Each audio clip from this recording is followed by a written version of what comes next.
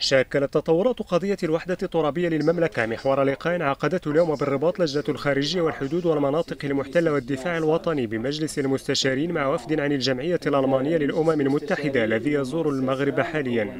تحدثنا على مسلسل آه، تسوية فيما يخص آه، آه، قضية وحدتنا الترابية. حيث أعطيناهم نبذة تاريخية حول تطور مسار هذه القضية منذ الستينات حتى يومنا هذا.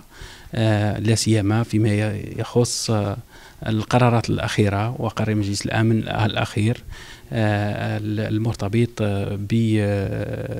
بالإشادة التي قدمها المجلس الأمن فيما يخص القرار الأخير بالمجهودات التي يقوم بها المغرب على جميع المستويات.